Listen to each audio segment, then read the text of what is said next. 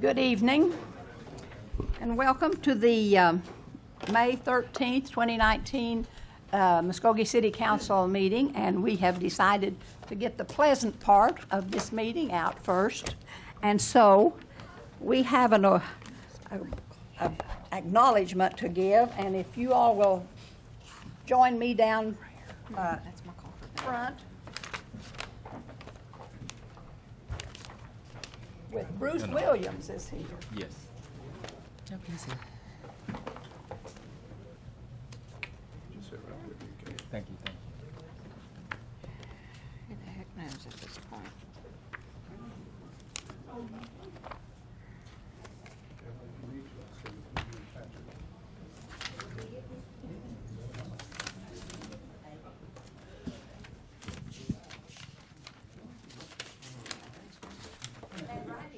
Yes, ma'am.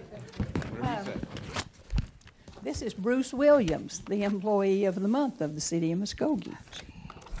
And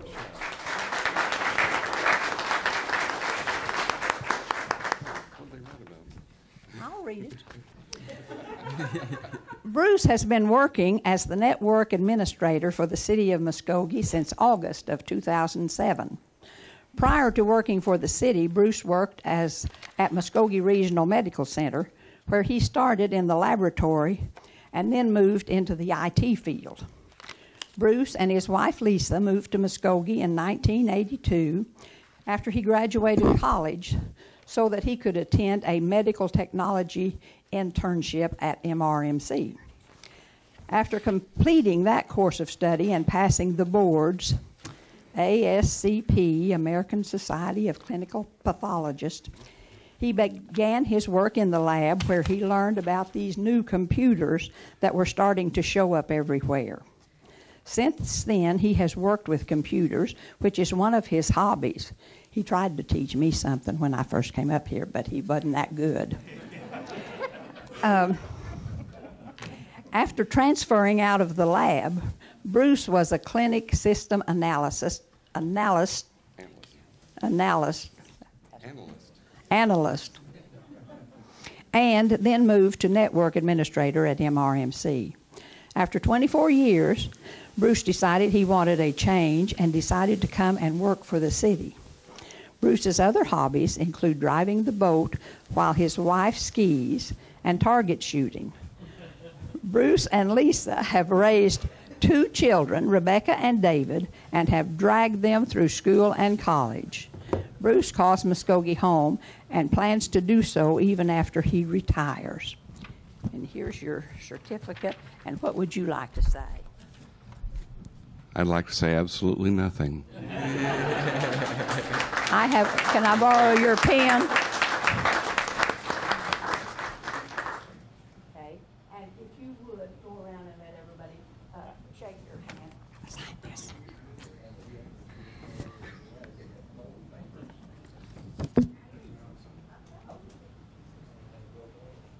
Hey, brother. Congratulations, we all deserve it. Here's one I'm proud of. Yes, thank you.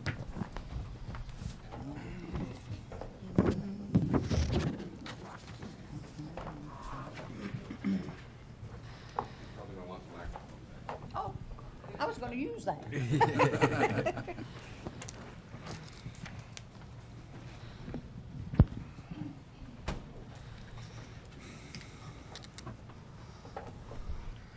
Now we'll get started with the invocation by Council Member Jamie Stout, and then uh, remain standing for the flag salute.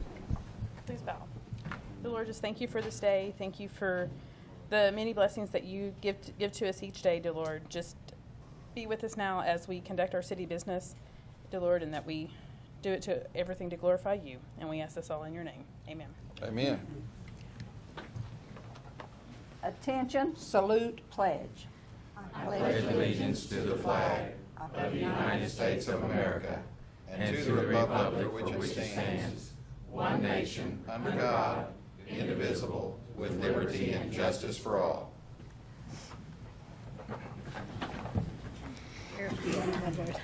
Roll call. Mayor Janie Boydston. Here. Evelyn Hibbs. Here. Dan Hall. Present. Marlon Coleman. Here. Jamie Stout. Here. Wayne Johnson. Here.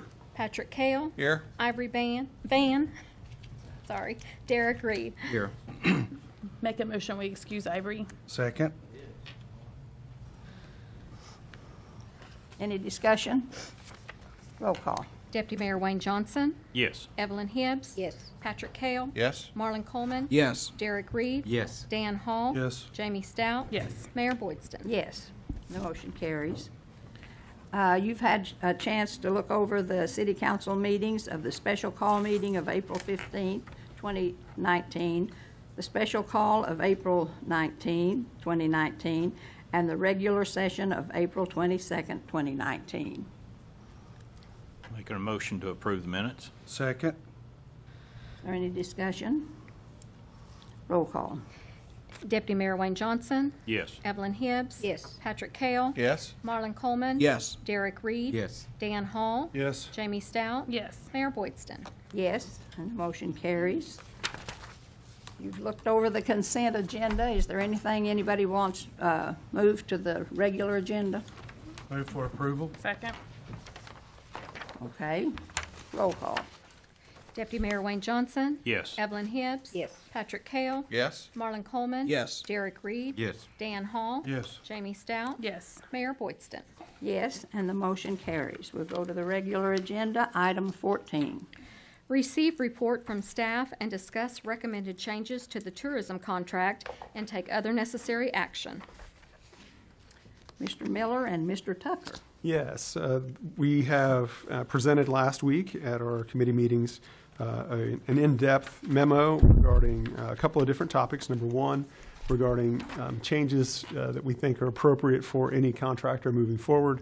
Uh, And number two, regarding the various structures that the council had asked us to consider for potentially administering a tourism contract or tourism-related activities um, moving forward into the future. And so uh, we won't necessarily rehash all those details of that memo today. We've had a, a chance to talk um, in the last week. Uh, Mr. Tucker, though, has put together something that I believe Councilor Hall requested, which is more of a representation of what those um, different formats might look like. And so I'll let him kind of walk us through what those uh, options are, those different structures for tourism.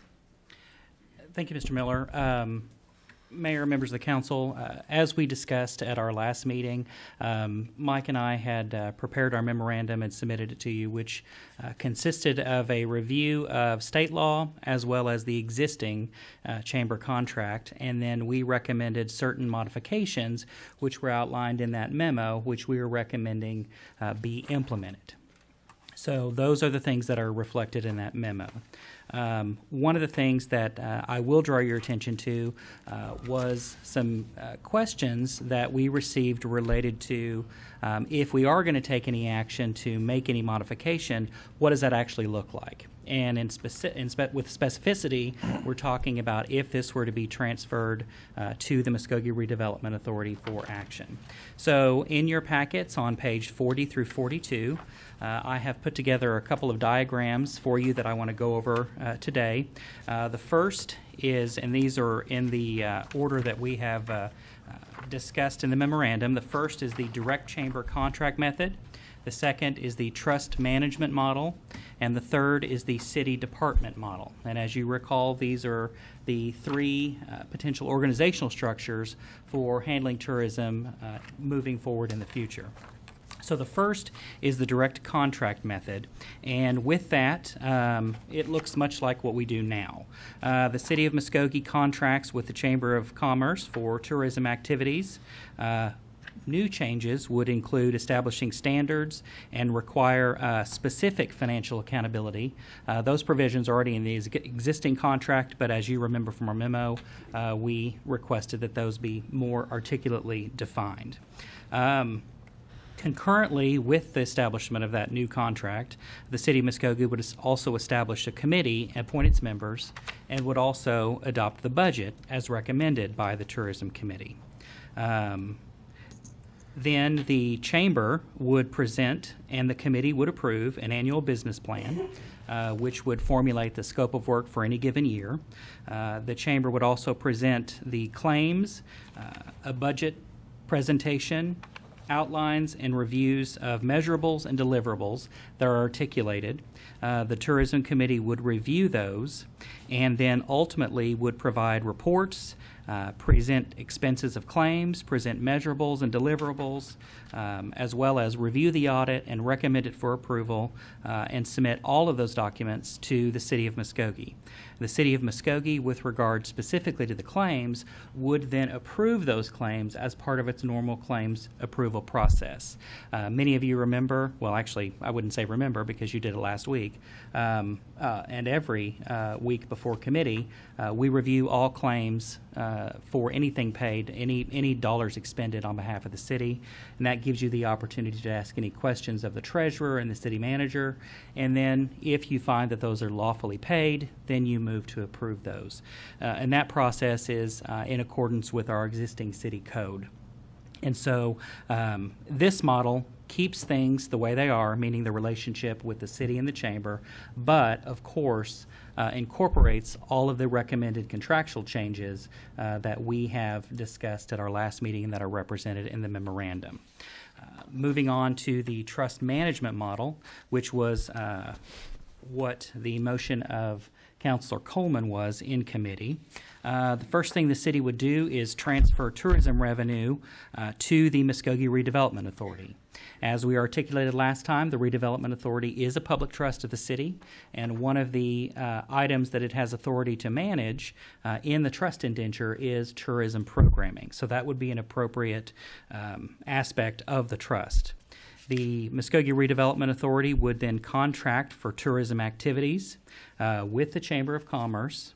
Uh, additionally, the Redevelopment Authority would create a board, and that would be done by resolution. It would designate the Tourism Board of the Muskogee Redevelopment Authority. It would grant them authority to review and approve claims, approve an annual business plan, approve a budget, and all other financial reporting the tourism board would effectively manage the contract under the guidelines provided by the Muskogee Redevelopment Authority. The uh, chamber would then present the annual business plan, uh, the budget, the monthly expenditures, the measurables, deliverables, and all other information required by the board. The board would, of course, report to the trustees of the Muskogee Redevelopment Authority, which, as you all know, is uh, the members of the city council, um, and they would report as needed. So, if there were any information that you wanted, if you wanted to specify when this was created, uh, if you wanted it monthly, quarterly, semi-annually, or annually, uh, and you would also approve the budget uh, for the expenditures of tourism, or excuse me, for the allocation of tourism as recommended by the board. The third model is the city department model, and this is effectively the one where the city brings tourism in house and creates a separate department. So, uh, under that model, the city of Muskogee would create uh, a department, uh, establish its duties by ordinance, and would also direct the city manager to budget uh, funds necessary for operation of the department. The city of Muskogee, like they do for all city uh, departments, would also, at the end of the day, approve claims for expenditures. Uh, moving that under the city manager, the city manager would provide direction on tourism activities based upon policy decisions from the council. Uh, he would require measurables and deliverables of the department. The newly appointed department director would handle the day to day operations and who would, of course, report to the city manager. Um, the department, the newly created department, would compile expenditures in accordance with the uh, purchasing policy of the city and would submit those to the treasurer to process his payments. Uh, the treasurer would ensure claims that are lawfully paid, would maintain books and accounts, would maintain uh, all checking and uh, uh methods of payment, and would also print, present those claims to the city council through the city manager for their approval. Uh, additionally, the tourism department would uh, prepare an annual scope of work um, to present to the city manager and be in accordance with our general budget process. So those are the three uh, models that were discussed at our last meeting. Uh, a little bit more fleshed out and put on paper so you all could uh, sort of visualize what those would look like. And um, I'm happy to answer any questions, and I know uh, Mr. Miller is as well. So we turn that over to you to give us further direction. maybe good to have public comment at this time. Okay. Before we get into that, uh, we have several people who have signed up to speak to this issue. And uh, we will start off with Ann Barker Ong. If you'll come up and give us your name and address.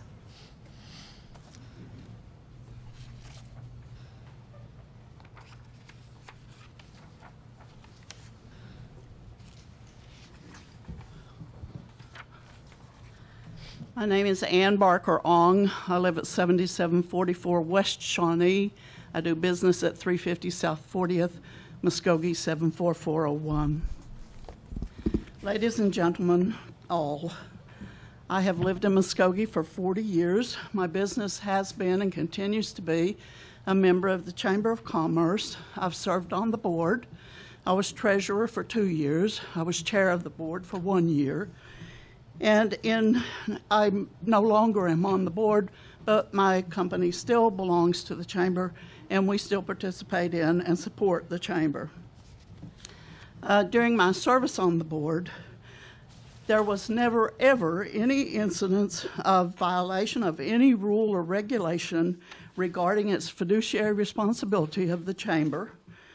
Um, any questions that came up were answered fully with uh, facts provided from the evidence, and there was never any question that the chamber handled funds properly and kept appropriate records.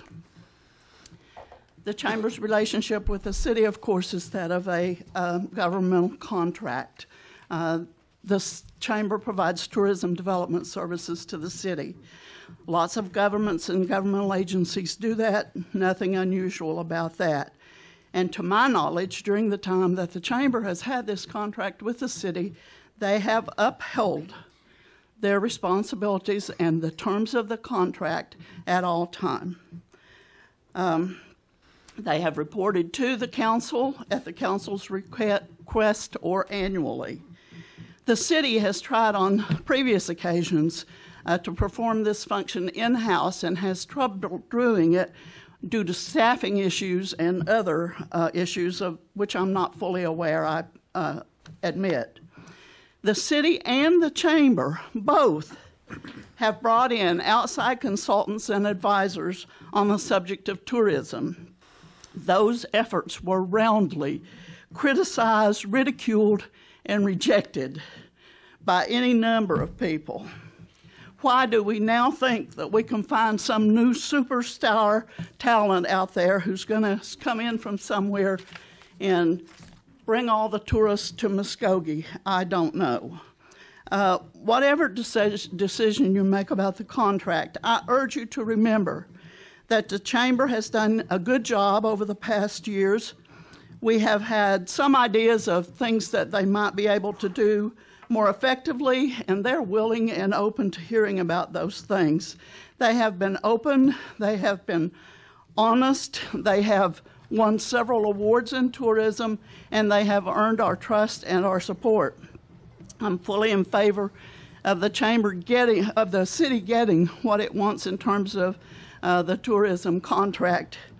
Uh, and I think that the only thing you need to do is spell that out. And I think that's what you're in the process of doing. Uh, I really think that uh, two of the options you've listed are the best ones, obviously, to contract it out. And the, the trust idea could work. Seems to me like it would add another layer of bureaucracy, but what the heck? And, and in the last 40 years, I have seen Muskogee make enormous progress. This is the best of times so far to my knowledge, in Muskogee. I have also seen her get shot in the foot several times by people who, ha- who don't know, they haven't done their homework, and they don't know the facts. We cannot expect to reach our goals if we keep getting within spitting distance of the target, then starting to doubt ourselves about what we're doing and take a new course. So it's a test of endurance for the hardiest among us. Cities that are successful do not have a citizenry that agrees on everything, but they do have a sense of collective efficacy. They believe that together we can get things done. Um, for almost a year, OU came over here, uh, their Institute of uh, Quality uh, Communities, and they studied Muskogee for almost a year. They told us that we're among the most hopeful cities you could imagine or wish for. And I think we all want to have something to give and to gain by being fully invested in our city. Henrik Ibsen said, A community is like a ship. Everyone ought to be prepared to take the helm. I think it's important to note that he said prepared, not just willing. Thank you very much, Ms. Ong. And our next uh, speaker is uh, Rob Rosh.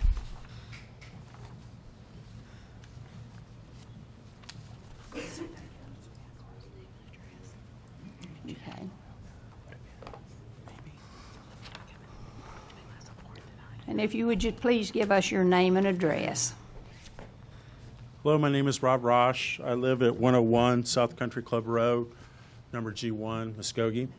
Um, before I get started and before my time uh, starts, I'd like to request council uh, additional time, uh, up to an additional 10 minutes, because as you know, uh, I passed out quite a, a large stack of paper. Last week, I was accused by the paper of not providing evidence, even though I did provide information, uh, and so I would like to actually present uh, that information today. So could I request additional time at this, at this moment? I move that we approve the additional 10 minutes.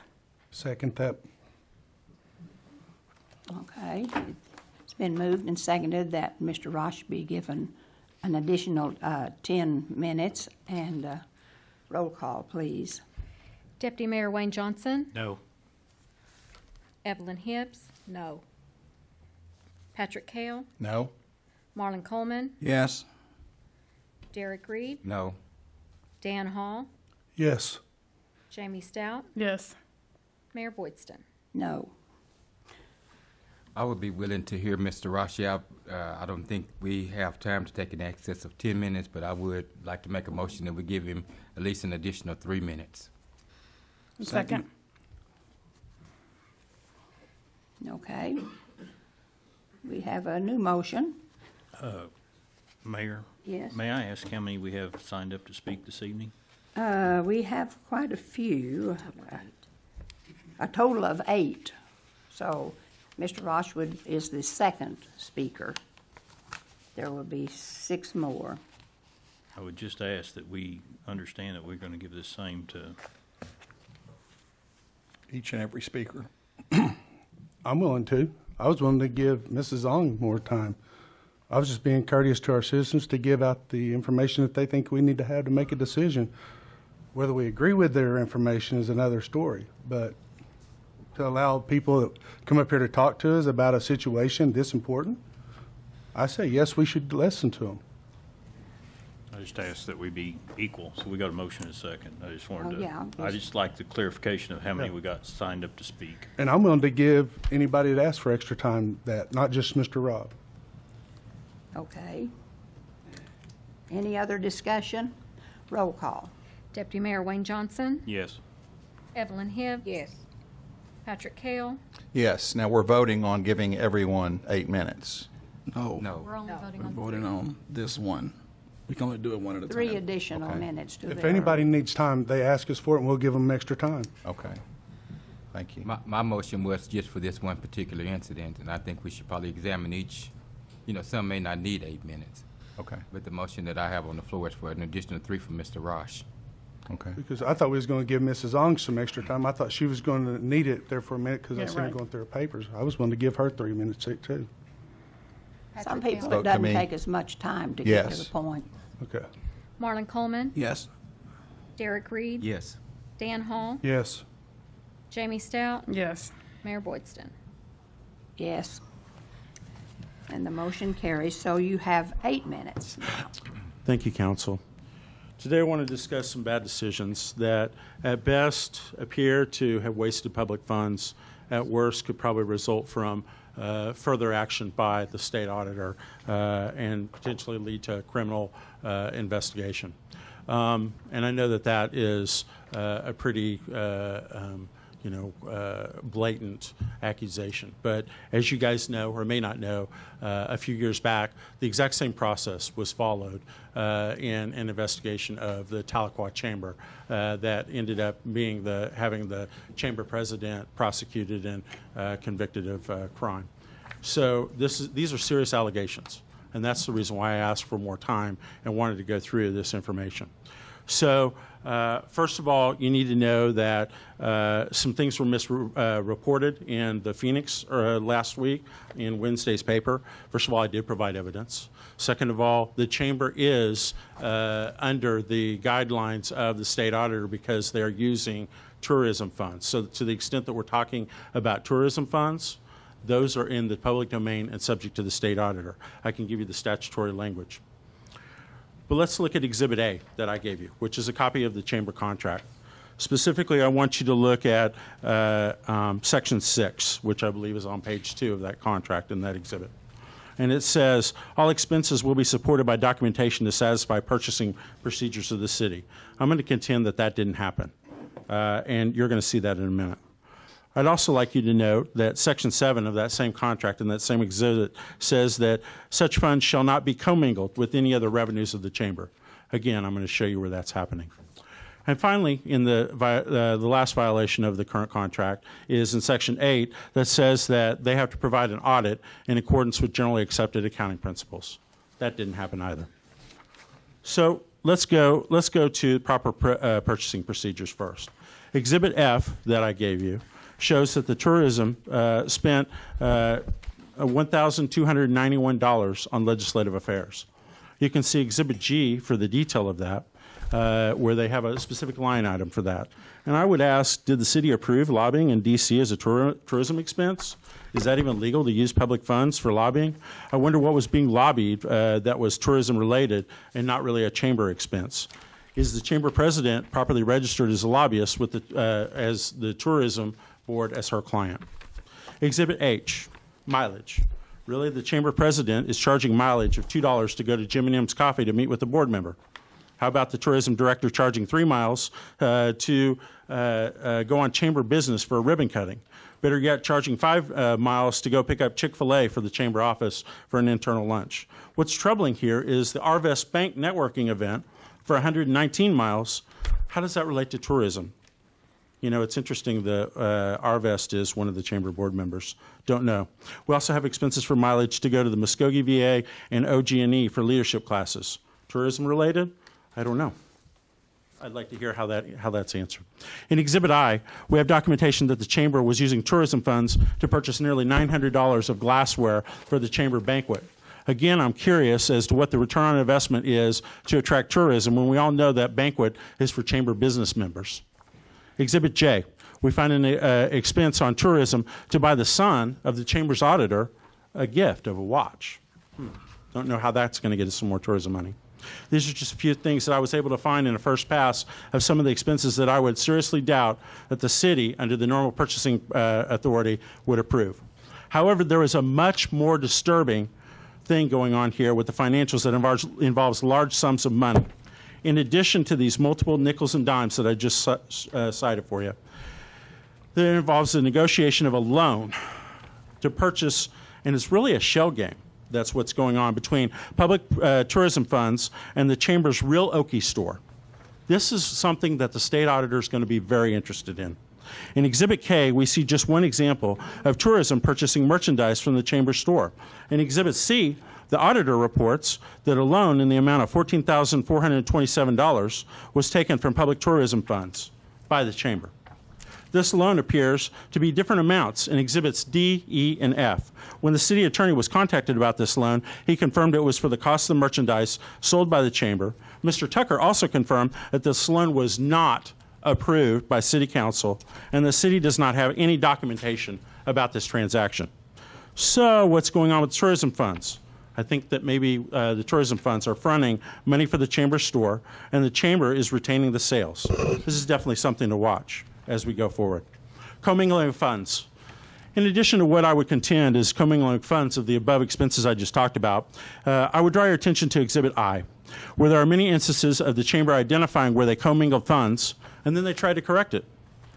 You know, I, I, I wonder if we got if they caught them all. You know, I've given props for catching some of them, but in Exhibit L, you'll also see where the tourism went to a conference on how to be uh, a better chamber executive, not a tourism executive, but a better chamber executive. They didn't catch that one, which makes me wonder: was tourism reimbursed for her time, prorating her salary once she uh, uh, since she's full time tourism? But like a lot of commingled expenses, we have chamber and a tourism website. We have computers, equipment, phone systems, cell phones, so on and so on. Those are all probably being subsidized by the tourism public money for the benefit of the chamber. There's no detailed documentation on how these prorated things are going on. Uh, there's just line items in a spreadsheet, but no detail. The curious carryover rollover funds.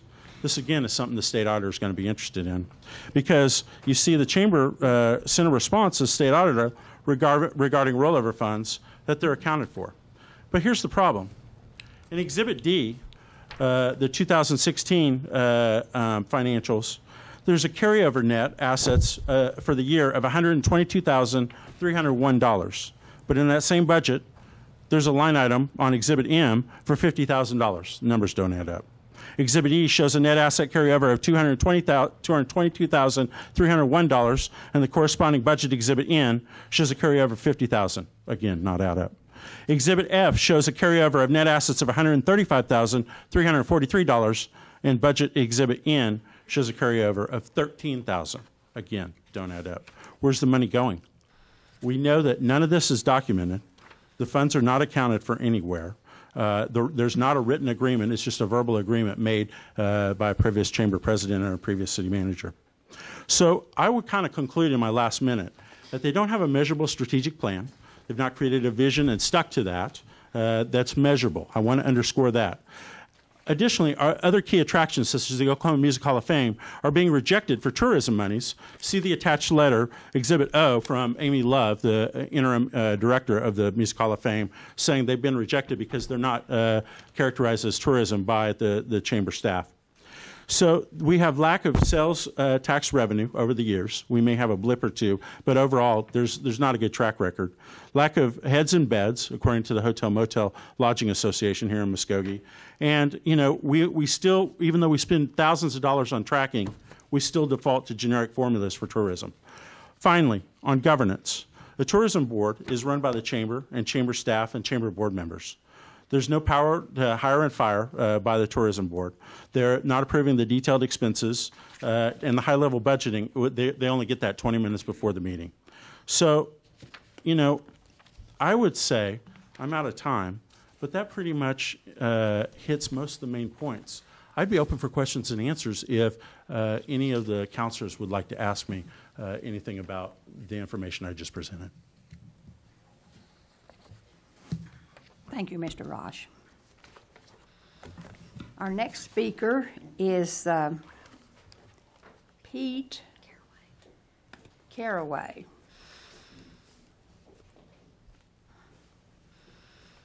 If you would give us your name and address, please.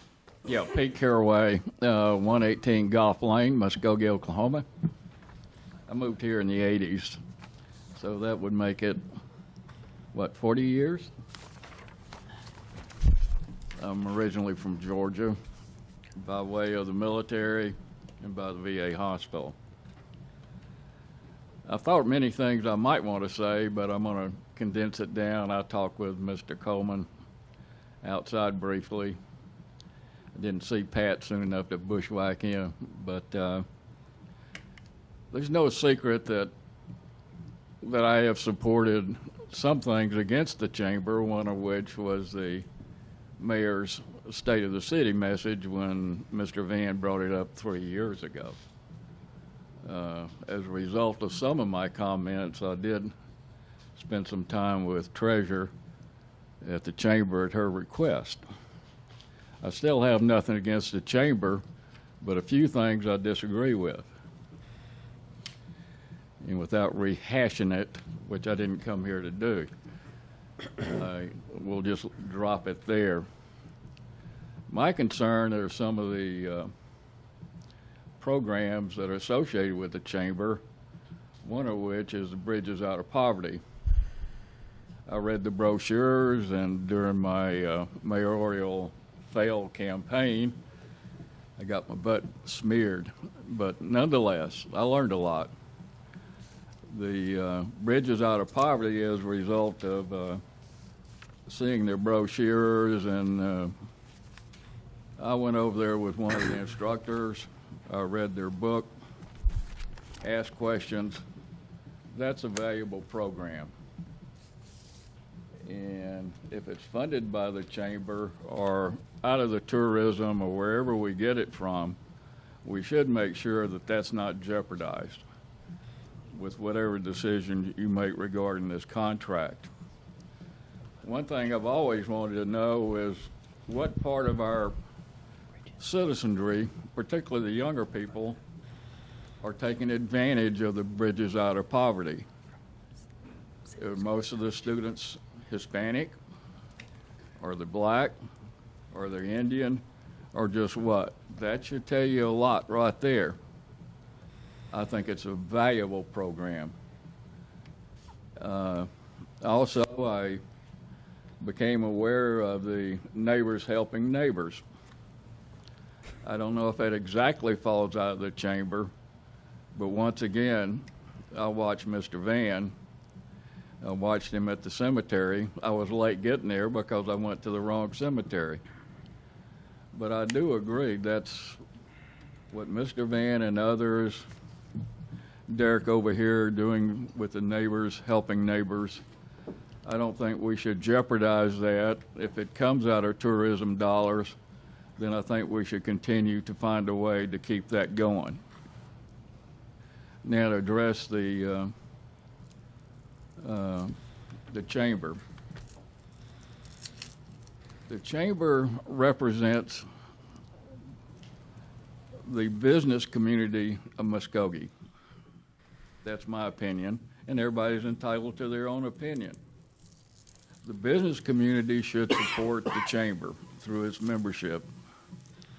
The government or the city can only provide a climate which is inducive and conclusively helps the atmosphere and improves the atmosphere in which our vendors, our store owners are going to operate within the city.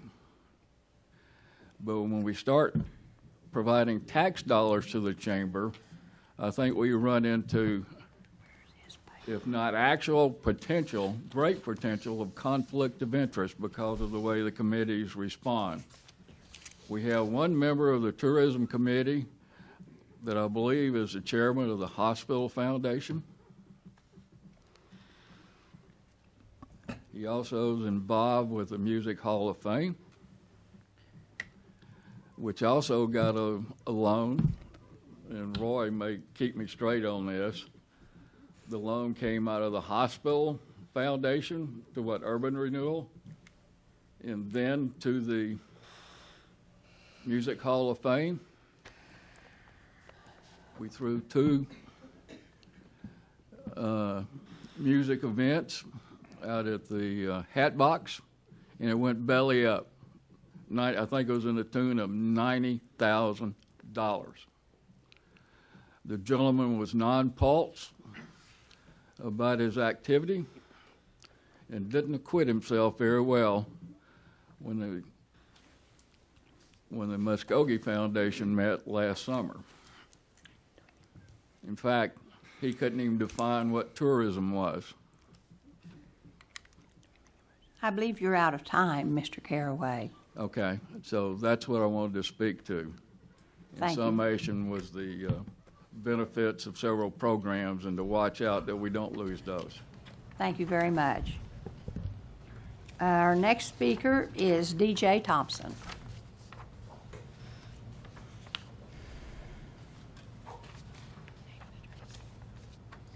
I'd like to remind everyone if they need additional time, uh, be, be sure and ask.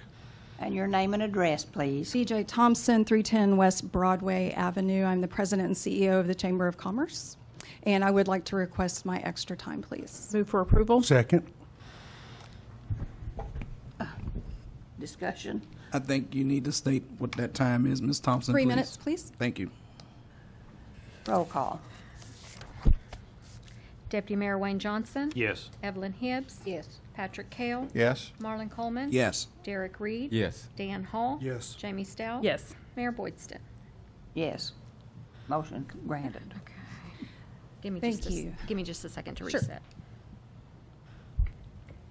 Okay. Okay. Um, wow, where to we be- where to begin? Uh, I had some prepared notes, but I kind of feel like maybe I need to address some other things. Uh, first of all, the um, there were several things raised by Mr. Rosh that I'm not sure where those came from or what the evidence is. I would love to see that. Um, to my knowledge, you don't have to be a registered lobbyist to do lobbying work in the nonprofit world. Um, the RVest event, just off the top of my head, I can tell you it was the state tourism uh, director that was speaking at that event. We were invited to attend that, so our tourism director did attend that in Tulsa. So, uh, with that, I'm happy to answer other questions and go into detail as needed. Um, but thank you for having us here tonight, and thank you for the comments that have already been shared. First, on behalf of the Chamber Board and staff, I want to thank City Council, excuse me, as well as City staff for the ongoing partnership and collaboration that we have with one another. We sincerely appreciate that partnership, and the conversations that we've been able to have over the last week have been invaluable uh, for information for uh, the Chamber and for the future of Muskogee's tourism program. We believe this type of open and honest relationship is invaluable when trying to achieve the positive outcomes we all want for our businesses, our citizens, and our economy, and only helps to strengthen the opportunities each of us has to make Muskogee better. Second, I want to emphasize that currently tourism in Muskogee has an excellent reputation. Lieutenant Governor Matt Pinnell recently spoke to a group here in Muskogee and said, Muskogee does tourism and economic development as well as anybody. Mr. Pinnell went on to attribute the town's successes primarily to its marketing campaigns, such as the Real Okie campaign, quote unquote. He also made note of the unique attractions we have here, such as the Batfish, the Oklahoma Music Hall of Fame, and I will just say that uh, recognition like this is a result of years and years of community col- collaboration, partnerships, exciting and unique venues, and hard work by a lot of volunteers and a lot of staff from various organizations, including the city. None of it has been achieved in a silo, and that includes the Chamber's work in tourism. Although we as locals sometimes view things a little differently than those outside of our community, it is a fact that tourism is doing well in Muskogee and that Muskogee is doing well at tourism. From fiscal year 2012 to present, which is the year after we raised the tax here in Muskogee for hotel and motel lodging, the tax uh, dollars collected has increased 26%. To give you something comparative, sales tax has only increased 2% in that same amount of time. So I think we're doing an okay job. Can we still do better? Of course we can. And that is what we want to try and do with the negotiation of new contract. The Chamber will work with you to do tourism better while not losing the momentum that we have gained all of these years and all the work we've done. Third, your Muskogee Chamber also has an excellent reputation statewide among many different groups and individuals. We've been recognized at the state level and are often asked to consult with other chambers or groups about the successes of our programs and high quality management and service. On a daily basis, we make every effort to demonstrate good leadership, quality services, and standards of excellence. How we work for tourism is no different. In my time in Muskogee and with the Chamber, I've worked closely with many of you in many different projects and programs that are all designed to make Muskogee better. I view tourism exactly the same way, as I have each and every other project or program I've had the opportunity to be involved in. We always give it 100%, always make it the best that there is, and set the standard. Do it with integrity, do it with grace, and help educate others on why it's important. Hopefully, these things show in everything we do as a chamber and for our city. Fourth, what you will not see from me tonight or from my staff team is trying to tear down, diminish, or negatively impact the work done by others who are trying to achieve great things for Muskogee. Tactics like that are not helpful, don't contribute to progress, don't facilitate trust and collaboration, and don't help this city or our citizens. We will always take the high road and stand on our own achievements and strengths instead of tearing down others to make our own agenda easier.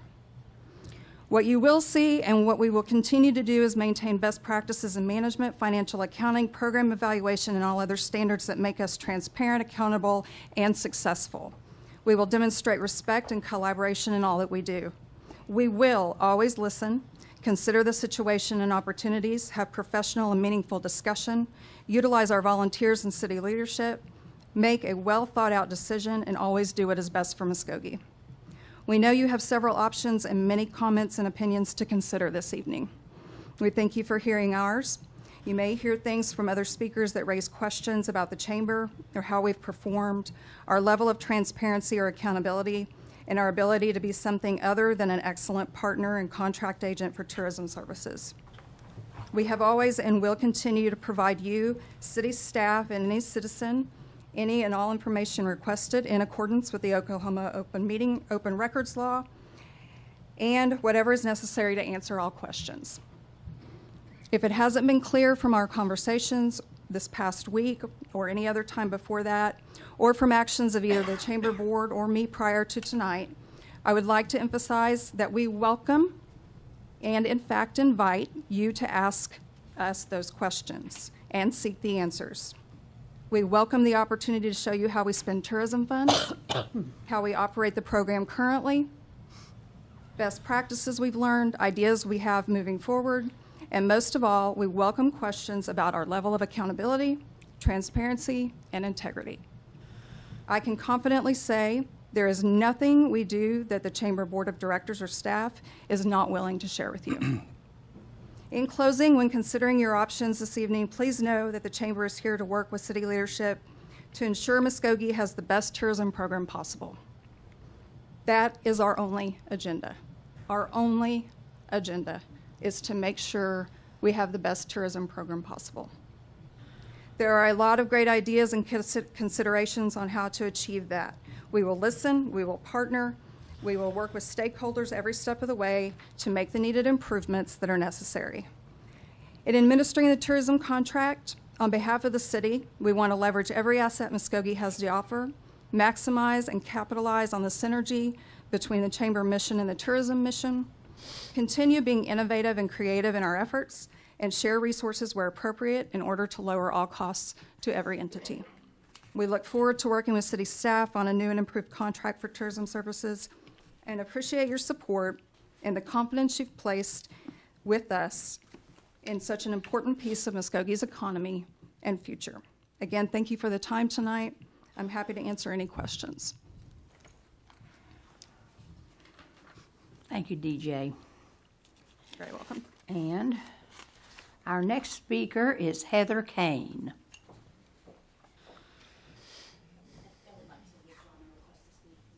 Oh, okay. Then our next, uh, Mark Patel.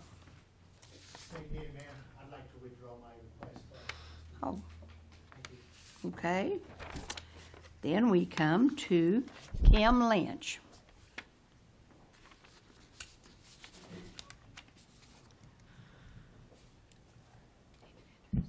Name and address, please. Kim Lynch, uh, 207 North Second Street in Muskogee. I want to correct first, um, Mr. Carraway, I really appreciate that you thanked us for Bridges Out of Poverty, but that's actually one of my programs with Neighbors Building Neighborhoods, which is also one of my programs. But as a tourism chair, I'm here to speak for you for that. Um, I didn't plan any speaking. I think that um, I've read with Mike and with Roy on the trust management model. I firmly believe that that is the right process to go through. It gives accountability as well. I serve as the tourism chair. I am not on the board, so I have no accountability to the board. But I want you to thoroughly look at that trust management model. My last statement before I get to is please make sure to vote. Tomorrow, vote often. At least vote for Proposition 1 and 2. Thank you much. Thank you, Kim. Thank you, Ms. Lynch. And our uh, final speaker on this matter is uh, Bob Coburn.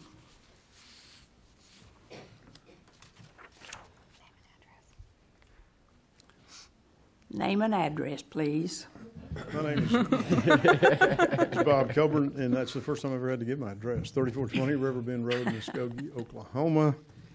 Great place to live, to work, to play, to raise a family. Uh, Ex-Mayor Coburn, will you need extra time? Nope, I'll give you some time back.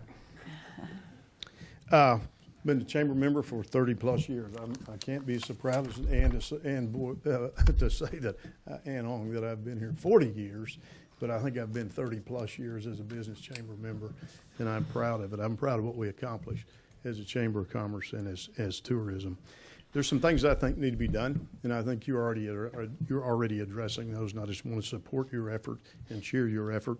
I think the scope of work and the definition of the scope of work needs a, a, a little work in terms of fine tuning that and then figuring out what the measurable outcomes are.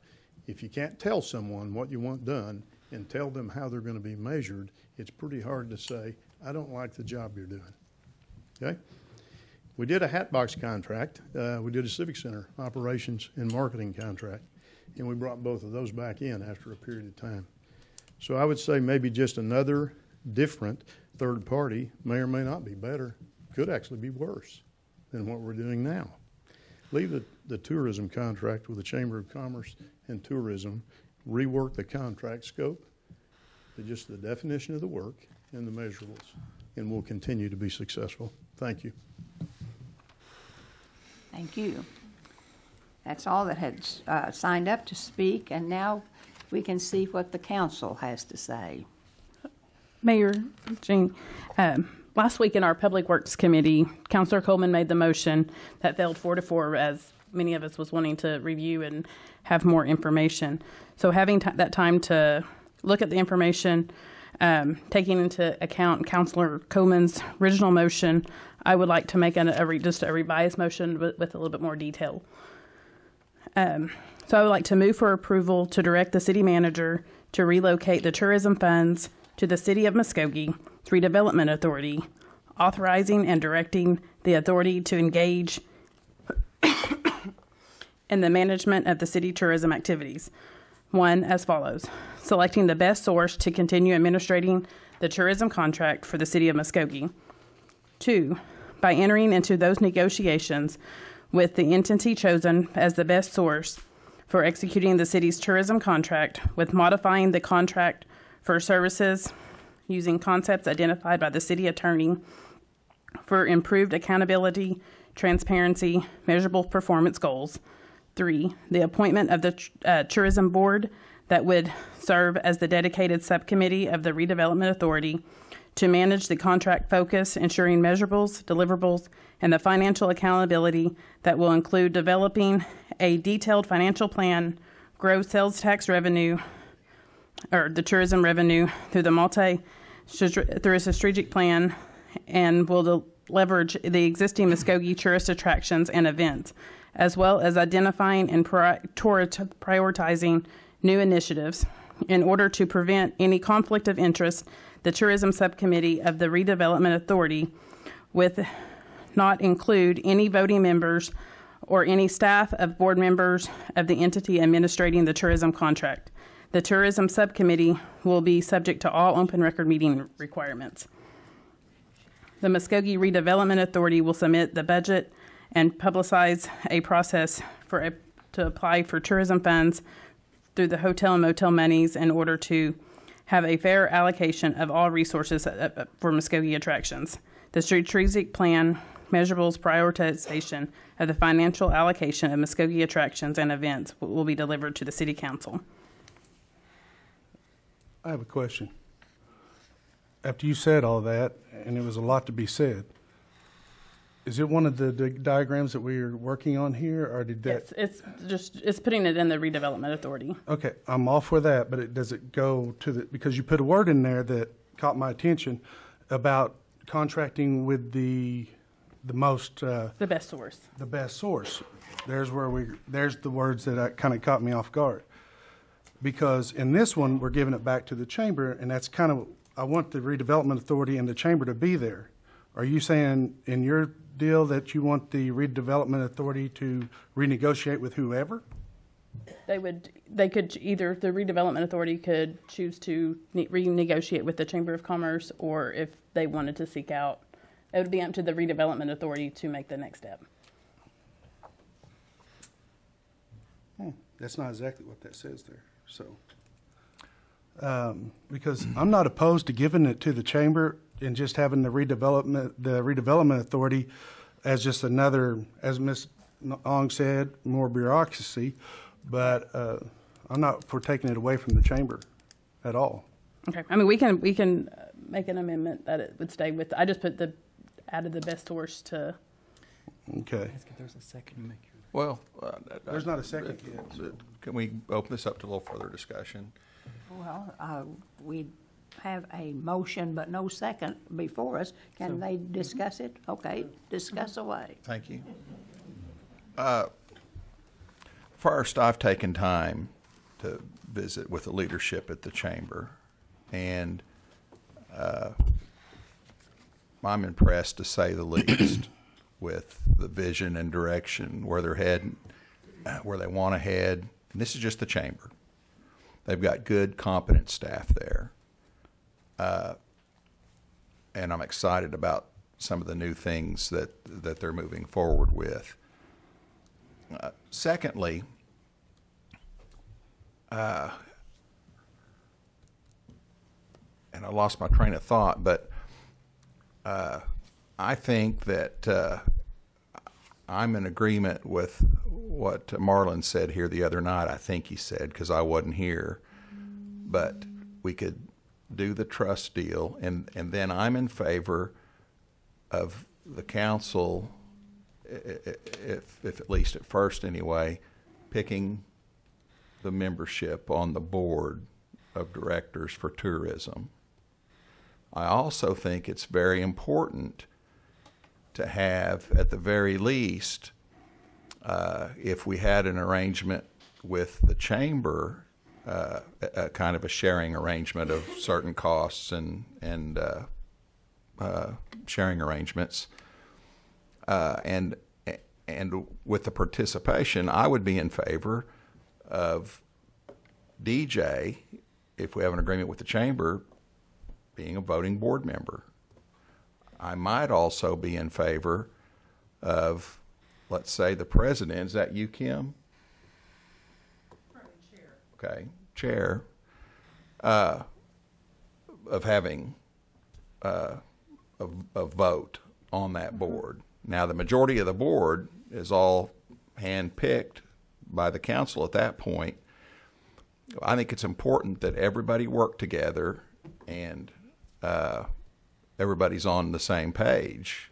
And certainly, two votes coming from the chamber side that's helping administer all this aren't going to carry any big legitimate weight over everybody else. But part of what I think about uh, this proposal by Marlon is getting some independence uh, and and some accountability. Those board members are going to be just like city council members. They're going to be making the big decisions. It's their decisions that they're going to make. They're going to be accountable for their decisions. They've also got the the, the they're empowered to make those decisions. What they do on that board is important, and that's why we want to pick people worthy of that appointment. But people worthy of that appointment will rise up to the occasion, and they'll work it, I believe. Uh,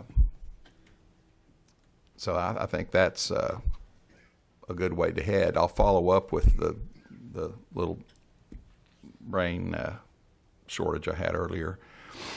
Uh, and that is through no fault of the chamber, I, I'm going to have to, to take responsibility as a part of the city.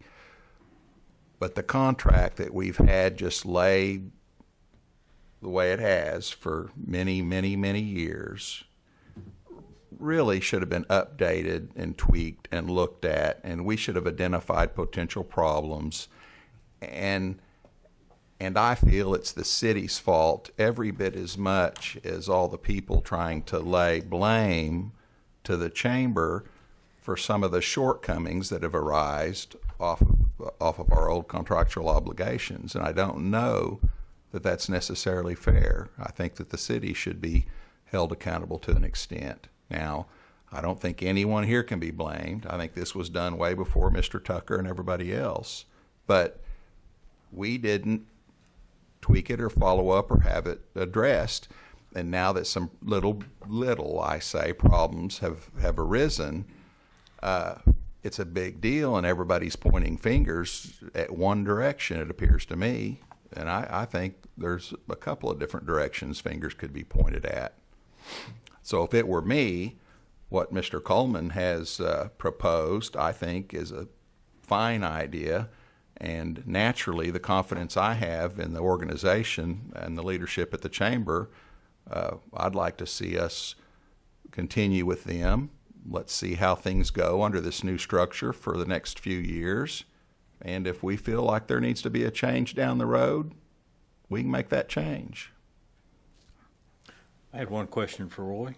Um, Roy, under the model that you showed here, where we go to the trust authority, and uh, the the real, to me, the uh, the power is us empowering the board that we select. And I think once we move the funding to that trust authority, and then once the trust authority sets that the members, that's going to be very very important. The current model that you showed us has that trust authority and that tourism board selecting the chamber as that third party, which is what we're Correct. wanting right now. Yeah.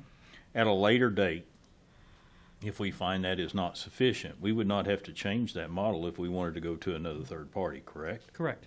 The same trust authority could exist, mm-hmm. the same tourism board could exist, and we could go, still use the, ch- the chamber, and we could use a third party at the same time.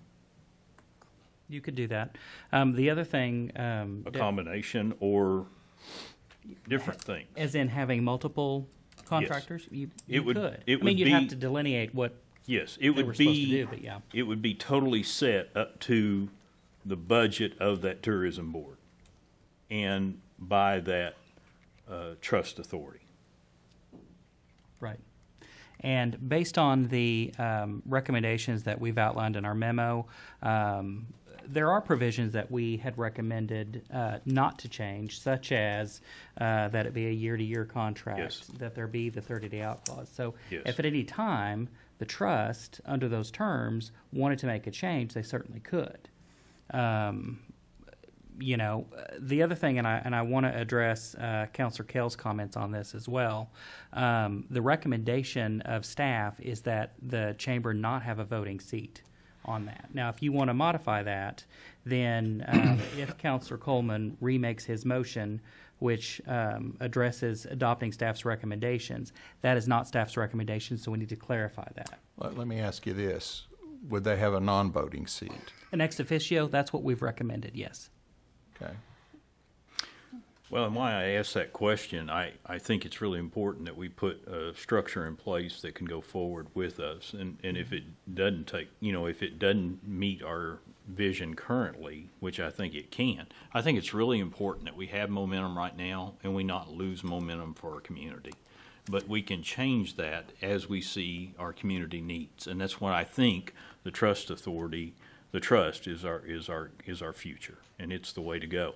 And i think with all the funding going there that trust authority can appropriate the the tourism money to each and every entity such as the all of our tourism funding not just for um, the what's going to um, what would be going for just the tourism that would be going to subcontract out to the, the chamber, but it would also be going to the Batfish, Three Rivers Museum. It would be going to all of our tourism activities. Is that the role that's being shown on our current format? Yes. Mm-hmm. Okay, all right, thank you. And Mr. Tucker, for procedural correctness, I'm ready to restate my motion as was stated last week. Okay. But We- we already have a motion on the floor. Right, and so we need a ruling from the chair whether there's going to be a, uh, whether the motion is going to have failed for a second. And so if you want to Madam Mayor, if you want to call for a second to um, Counselor Stout's motion, and we'll see if there is a second for her motion. Is there a second?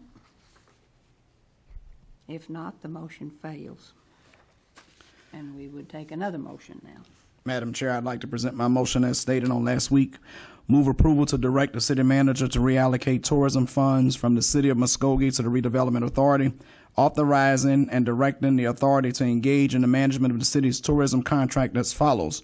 One, by entering into negotiations with the Chamber of Commerce for a modified contract for services using concepts discussed as presented by legal and the appointment of a tourism board to manage the contract, focus ensuring measurables, deliverables, of financial accountability, and developing a financial plan to grow targeted and existing events and entities and attract others as a part of a destination marketing plan.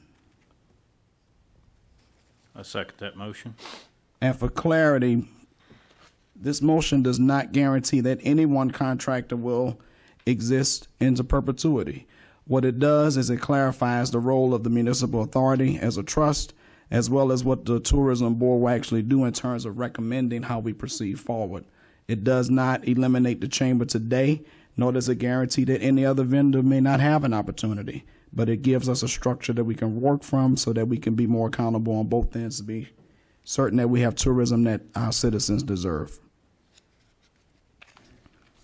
All right. How many, one question, how many people are going to sit on this tourism board? Do we need that, or we just need to wait until we get to that point and set those parameters? If I may, the uh, redevelopment authority would make that, would be empowered to make that call. Okay. Uh, You could give them guidance if you want to do so tonight, but that's No. you all. I just was thinking ahead, and because there is a lot of valuable people on the tourism board that's set up by the chamber right now, and I'd hate to see those people go, well, forget y'all. Y'all don't want us to do this and walk away. There's valuable people on there that we're going to need as we go forward, and I like, there's some of them that I'd like to have on there. And you'll, and you'll have that opportunity? Yeah, I just want to make sure that, that, that's out there. And if I, um, was there a second to Counselor Yes. Coleman's motion? Yes, Okay. there was. So, um, for practical purposes, before you all vote, let me tell you kind of how this will work.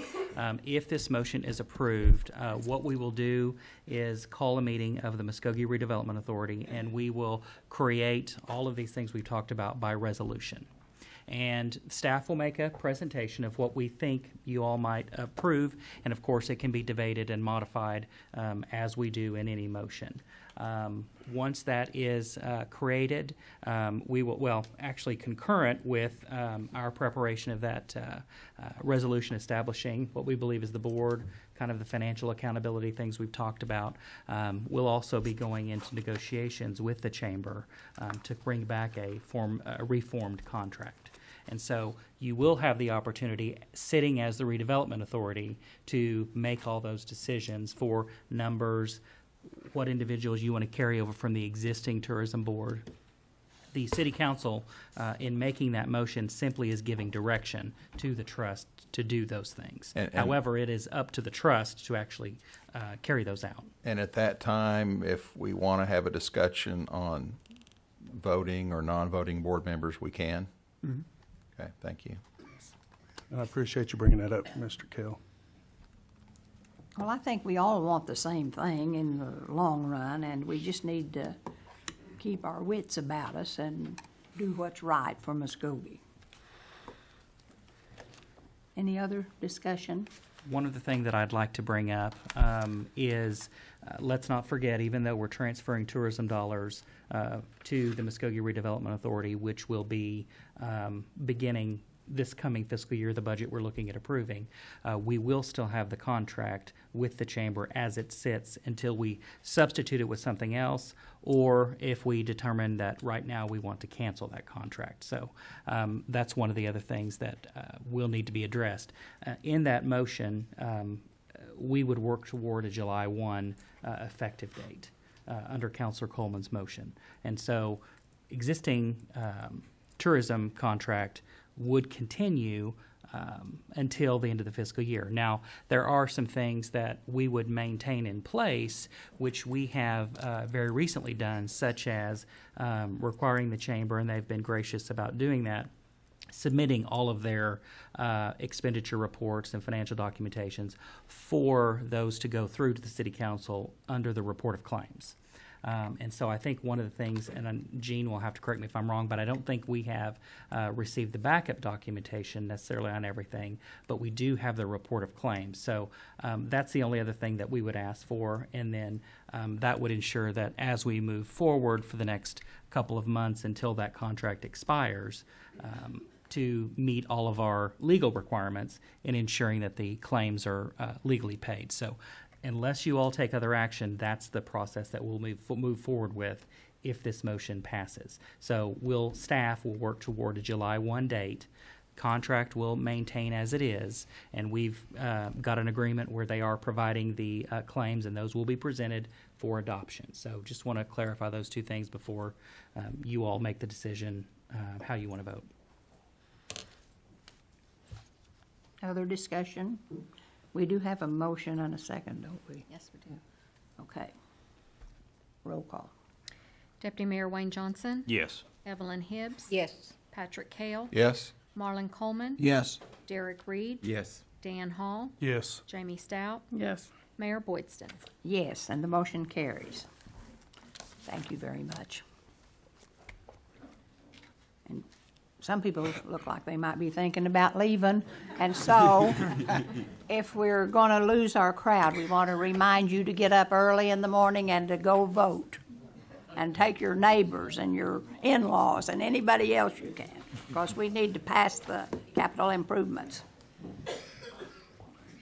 Okay, I think now. What? Good luck. Uh, item fifteen, Consider approval to, of the appointment of Megan Green to serve on the Muskogee County Transit Authority, subject to a term to be established in the bylaws or take other necessary action. uh, yes, this is, uh, my matter, and I would like to appoint Megan Green to the Muskogee County Transit Authority. She is a young lady that, uh, I got acquainted with, who actually uses the tra- traction, transit authority, and I think she would be great. And so I move the, that we approve her appointment. Second. Any discussion? Roll call. Deputy Mayor Wayne Johnson? Yes. Evelyn Hibbs? Yes. Patrick Cale? Yes. Derek Reed? Yes. Dan Hall? Yes. Jamie Stout? Yes. Mayor Boydston? Yes, and the motion carries. Item 16, Discuss the 2019 CIP proposed projects and activities related to the May 14 special election and take other necessary action. Uh, yes. Miller. Yes, Mayor and members of council. Um, the mayor has already given the speech, so we do we know we have an election tomorrow. I'm going to talk just real quickly to make sure that we're all on the same page. That we are renewing a tax that was set to expire later this year. Remember, that tax was primarily used for sewer upgrades in the past and other capital improvement projects. So when we say we're going to use this money to improve streets, it's because the money previously wasn't used for streets, but now we can. So that's uh, that's the excitement.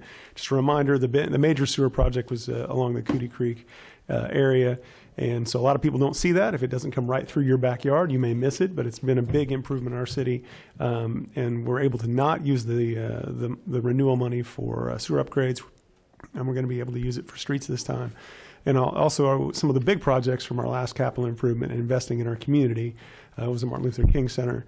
So we want to just make sure and reassure the public that we have used the money that was in the last tax as intended, and we do propose different uses for the tax this time around, and we'll also use them as intended. So here's the ballot propositions. And basically, we propose renewing that tax, and when you see it written out like that, you realize that it's 0.0033 is what we're asking for for streets. Uh, this adds up to half a cent. Um, real quick, Proposition one is regarding the streets. It is a sales tax renewal. When it comes to streets, we get what we pay for. And so uh, we can only buy so much asphalt and concrete with so much money. If we want to fix the streets, this is our one chance to get a dollar for dollar match from the City of Muskogee Foundation to turn about $12 million worth of tax dollars into $24 million worth of street improvements. That will do about 100 miles of residential streets. That's Proposition 1. Proposition two, also part of the sales tax renewal, keeping the sales tax rate the same, but getting new things and more investment in our community. Public safety among the dozen or so projects that are listed, police and fire, 911 center, among the many other projects. Um, we've been talking about this for a long time, and so I don't want to spend a lot of time necessarily talking about it tonight. We just have three things to, to end with. Remember, a sales tax renewal, the same tax we're already paying, but we're going to either have $24 million for streets over the next six years in addition to what we have, or we're going to have zero. We're going to have $6 million for community investment or zero. And so uh, our election is tomorrow.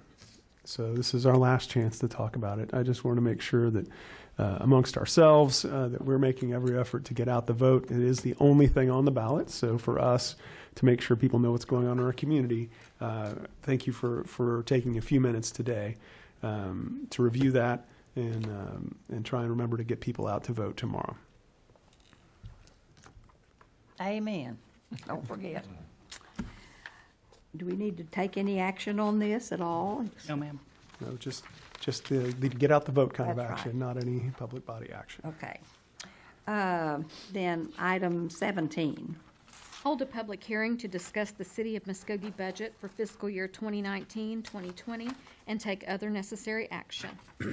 At this time, we will open the public hearing and uh, hear from Mr. Miller. Yes, thank you, Mayor and members of council. Again, another project we've worked on for a long time, and I'll try and, and speed through it, but it's one of the, obviously one of the most important things we do in any given year.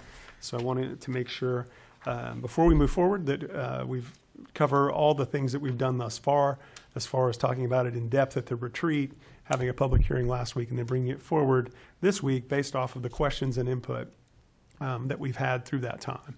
So this is the proposed budget.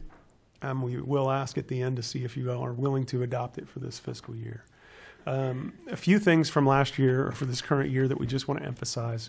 A couple of our main highlights. We've been focused on streets. We need to continue to.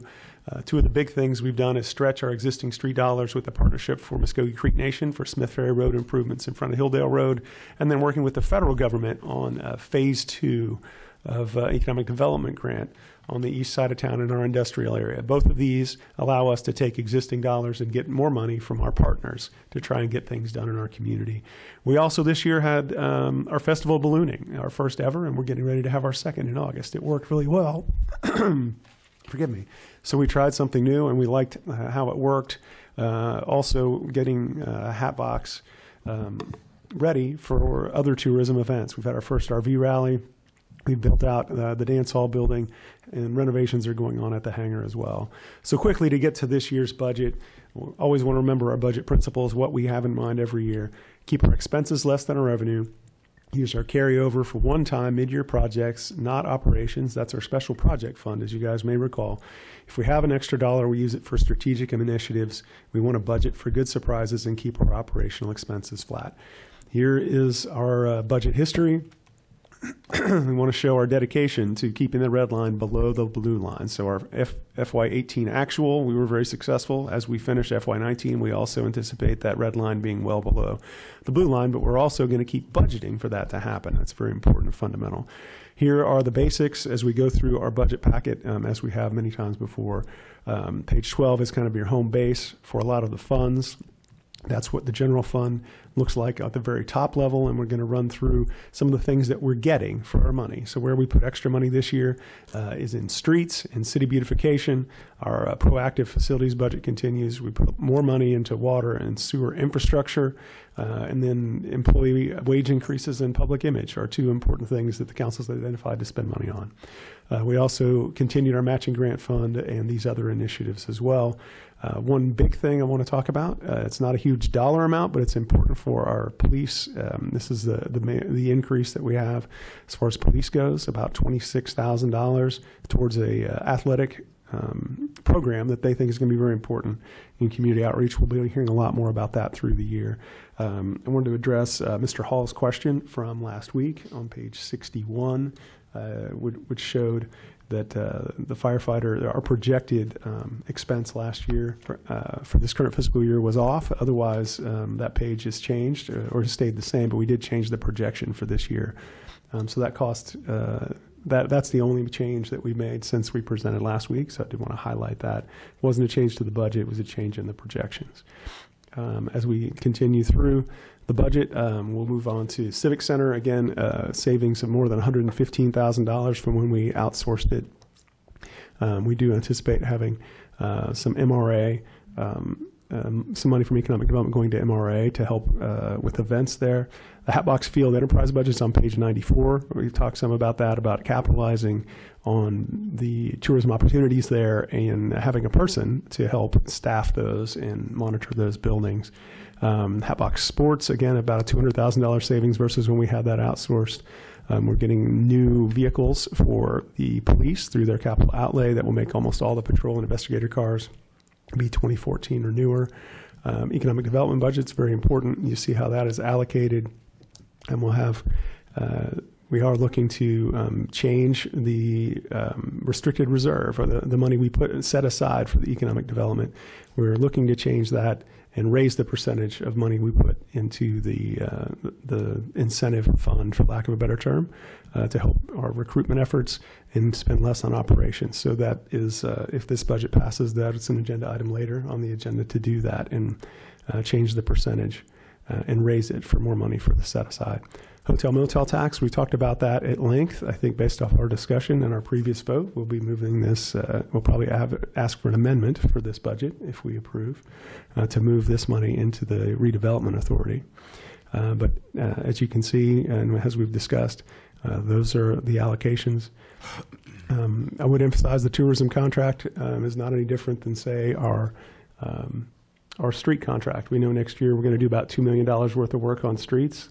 Um, we don't know who those contractors are, but we're going ahead and approving the budget, and that's that's the situation. This doesn't lock us into any particular course of action, except the course of action outlined in the previous agenda item. So, just having a tourism contract in the budget does not uh, doesn't affect us either way. It just lets us move forward with the budget. Um, our special projects funds on page 132. Um, we do hope uh, to add money to that fund this year, but that will be developed uh, mid-year as is outlined in our ordinance. Um, MMA, uh, we've talked a lot about this as one of our big successes. Um, $2.1 million in new money set aside for capital projects and equipment. And uh, are two of our new things that we're going to really be working on um, a lot faster are funding for our street cuts. So when we uh, find a water leak under the street, we'll have money to fix it really quickly, and, and also for our water leaks, try and get caught up on those. We have the money to do it, and we're going to make a very strong effort to do so. Uh, Muskogee Redevelopment Authority, I think we're going to uh, ask again for an amendment so that we make sure that the hotel motel tax money is moving through the MRA um, as allocated. Uh, capital outlay, very important. Um, this is uh, money that we try and stretch. We either try and match uh, a funding where we spend a dollar now and we can get uh, save the money later, or um, we try to make sure we're doing something that helps improve um, the experience that our citizens are having in the city. So you see uh, those items there on page 141 and following, and certainly on this list. And I think one of note, of course, is our opportunity to look at uh, solar panels at the Civic Center, which is a, would save us a lot of money long range. Um, other funds we'll talk about briefly. Uh, River Country Water Park, Swim and Fitness, Park Development Fund all have no general fund subsidy. The airport also no general fund subsidy. Uh, so here, where, here's where we are. I appreciate your patience. I know the council's heard this many times, and so we we uh, have tried to apply our strategy. We've listened to the council all year long. Our staff has done a tremendous amount of work. I, I see Gene and Marcy here from our finance department. Um, Roy and his office have done a ton of work to try and get us ready to be able to do these things tonight. Um, so I would uh, certainly entertain any questions. Um, and when the time's appropriate, we would have a, uh, if there's a motion to approve, it would be also to amend the budget to move the uh, hotel motel tax dollars into um, the MRA uh, as discussed and outlined in this budget. I make a motion to approve the 2020 budget year and make a Uh, amendment. We need to close the public Oh, hearing. sorry. So the public hearing is closed, and now let's hear your Thank you. Make a motion to approve the 2020 budget year with an amendment to move the funding from hotel motel tax uh, to the MRA. Second. Okay, any Yeah, just to, to clarify, uh, Deputy Mayor, that would, would it be also to be allocated as outlined in this budget Yes. to the MRA? Thank you Thank you very much. Any further discussion? Um, Mayor, one other thing. Um, and I lost my train of thought about that. Um, but we were, um, hold on, it'll come to me. It was important. Oh, uh, it did come to me. Uh, when you close the public hearing, um, would you verify for the record that it's because we didn't have anybody signed up to speak? That's right. We did not have anyone uh, signed up to speak to this Thank you. uh, item, so now we'll have the roll call. Can I ask a quick question, Oh, please? I'm sorry. Um, If just by chance, and I- I'm just saying if just by chance, our CIP doesn't pass tomorrow, will there be any room for budget amendments if we pass this tonight? We have until um, June 23rd, we have the option to come back and um, uh, make any changes or amendments to this budget. Um, After uh, June 23rd, we will need to do a formal budget amendment, which requires additional hearings and things like that. But yes, Other discussion or questions? Roll call. Deputy Mayor Wayne Johnson, Yes. Evelyn Hibbs. Yes. Patrick Cale, Yes? Derek Reed, Yes. Dan Hall, Yes. Jamie Stout, Yes. Mayor Boydston. Yes, and the motion carries. Uh, Item 18. Consider approval of resolution number 2764, approving the City of Muskogee budget for fiscal year 2019, 2020, and establishing budget amendment authority or take other necessary action. So, yeah, so, uh, Mayor and members of council, I may have gotten ahead of myself. Uh, Mr. Tucker, is that the, uh, do we need to make that amendment at this particular time to? uh, So we propose again the same motion, but uh, amending the actual resolution that's before you. So I I jumped the gun a bit, but I we wanted to make sure that we made the, have that MRA amendment in there, so. well, if you're going to approve it twice, might- um, approve it once, you might as well approve it twice. No, So- thank you. I think that's, I mean, we're really serious. Yeah. Okay. Roll call. I don't have a motion. Oh, we don't have a motion I move for approval. again. Can- and was that the same? Yeah, the uh, same as- motion that we made in the- over the last agenda Yes, item? the same, said the same motion, Wayne, Deputy Mayor, just Wayne Johnson just made. Okay, Second. and a second. Any discussion? Roll call. Deputy Mayor Wayne Johnson, Yes. Evelyn Hibbs. Yes. Patrick Cale, Yes? Derek Reed. Yes. Dan Hall, Yes. Jamie Stout, Yes. Mayor Boydston. And the motion finally carries. Mhm. Yes. Yes? And I, and I want to clarify one thing. The reason why it was necessary to actually approve the resolution is because in the motion adopting the budget, it did not provide uh, authority for the manager to move items around within funds. And so that's why it was necessary to adopt the um, formal resolution. Okay. Item 20. 19. I'm going to get fired, sure as the world. Item 19, please. Consider approval of ordinance number 4069A, amending the City of Muskogee Code of Ordinances by amending Chapter 74, Taxation, Article 8, Use Tax, by amending Section 74-237, Economic Development Fund, modifying apportionment of tax to the Economic Development Fund General Account and the Economic Opportunity Account for fiscal year 2020 only, providing for repeal or severability and declaring an emergency, or take other necessary action. Mr. Tucker. Uh, Madam uh, Mayor and uh, members of the council, uh, this ordinance uh, will reflect uh, effectively what has been presented in the budget. Um, It will modify uh, the way funding is deposited um, in our, from our use tax into the Economic Development Fund.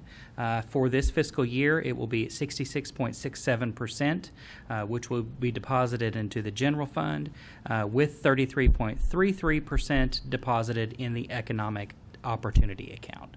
So uh, that is the only change to this ordinance. As many of you know, we have uh, discussed this, I wouldn't say every year, but certainly every other year, uh, where have, we have delayed some level of funding from that uh, fund to be able to um, meet our other obligations in the general fund. And so uh, this is one of the years where we've got uh, um, where we're making a commitment to put a significant amount of dollars into that fund. So uh, this is a very positive change, and with that, I'm happy to answer any questions. Um, Additionally, uh, this does have an emergency with it, which will require a separate motion. I move for approval and declaring, and then, We'll, we'll approve it, and then we'll declare the okay. emergency after so- that. Okay, so I I move for approval. Second. Any further discussion? Roll call. Deputy Mayor Wayne Johnson. Yes. Evelyn Hibbs. Yes. Patrick Cale. Yes. Derek Reed. Yes. Dan Hall. Yes. Jamie Stout. Yes. Mayor Boydston. Yes, and the uh, motion carries, and the. we Then wanted- we're making a motion that we're declaring this as an emergency. Second. Discussion? Roll call. Deputy Mayor Wayne Johnson. Yes. Evelyn Hibbs. Yes. Patrick Cale. Yes. Derek Reed. Yes. Dan Hall. Yes. Jamie Stout. Yes. Mayor Boydston. Yes, and the motion carries. Item 20.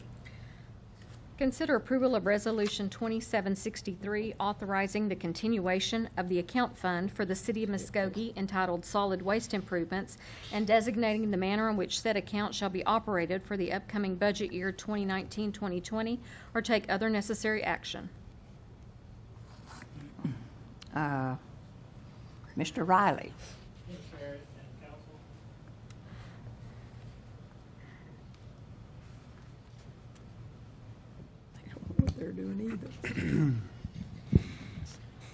Yes, Mayor and Council. Um, this is our uh, yearly uh, uh,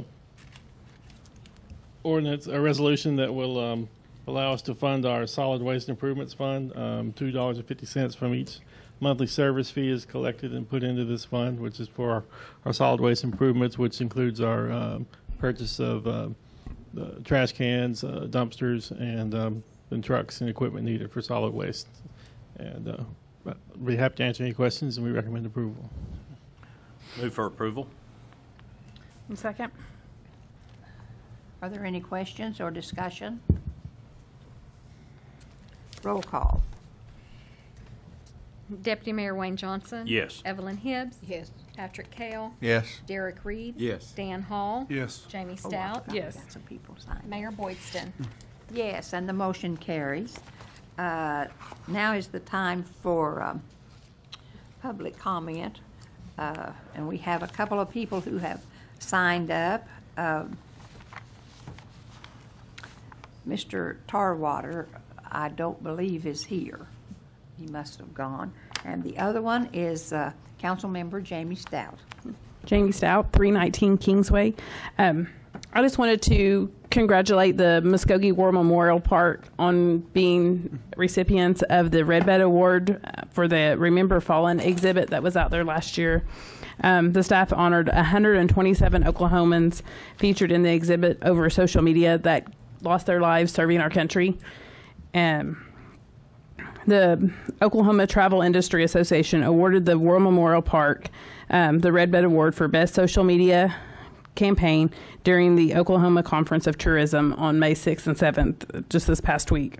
So the Redbud Awards recognize efforts of attractions and other agencies contributing to the Oklahoma tourism. So just congratulations again, Brent and the staff out at War Memorial Park. Job well done.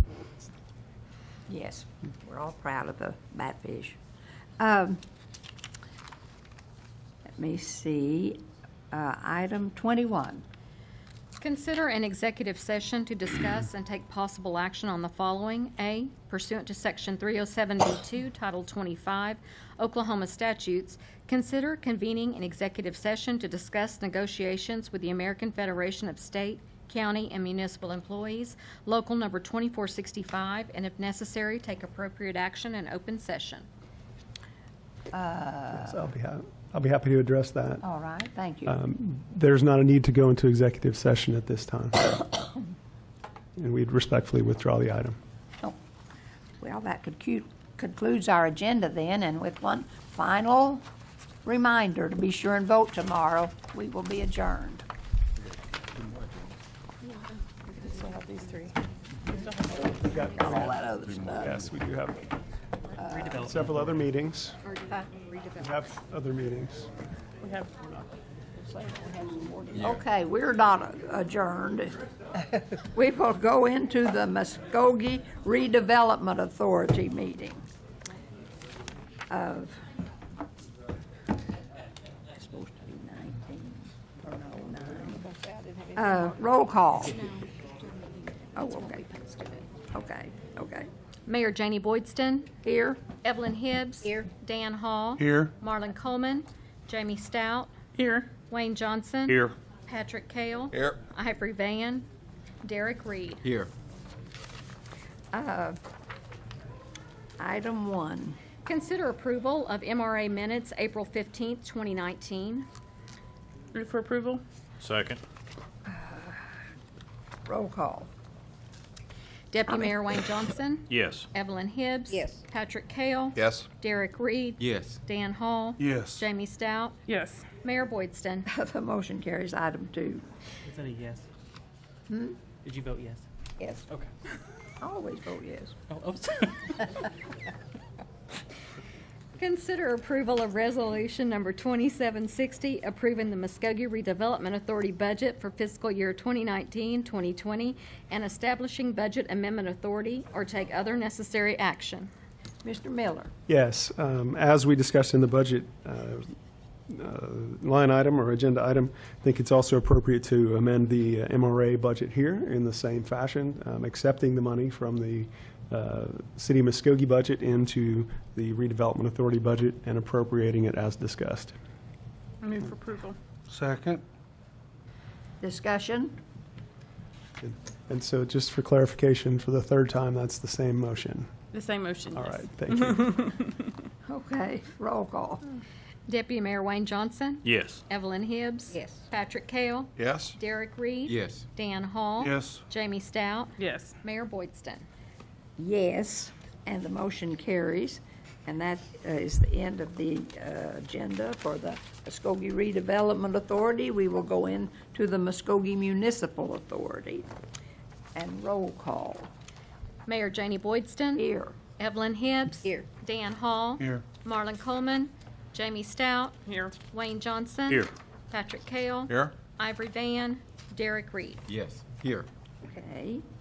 Item one. Consider approval of MMA minutes of April the 8th, 2019. Move for approval? Second. Discussion, roll call. Deputy Mayor Wayne Johnson. Yes. Evelyn Hibbs. Yes. Patrick Cale. Yes. Derek Reed. Yes. Dan Hall. Yes. Jamie Stout. Yes. Mayor Boydston. Yes, and the motion carries. Item two. Consider approval of MMA claims for the month ending April 30, 2019. Mr. Miller. Yes, you have before you the claims. Um, We do recommend approval. Move for approval? Second. Discussion, roll call. Deputy Mayor Wayne Johnson. Yes. Evelyn Hibbs. Yes. Patrick Cale. Yes. Derek Reed. Yes. Dan Hall. Yes. Jamie Stout. Yes. Mayor Boydston. Yes, and the motion carries. Item three. Consider approval of resolution number 2761, approving the Muskogee Municipal Authority budget for fiscal year 2019, 2020, and establishing budget amendment authority or take other necessary action.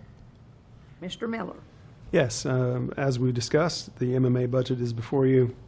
Please do notice the water and sewer infrastructure projects line on the expenditures of uh, $2.1 million. That is uh, the fund that you all have set up and, and has been very effective for us. So we want to acknowledge that, and we do recommend approval. Move for approval? Second. Discussion, roll call. Deputy Mayor Wayne Johnson. Yes. Evelyn Hibbs. Yes. Patrick Cale. Yes. Derek Reed. Yes. Dan Hall. Yes. Jamie Stout. Yes. Mayor Boydston.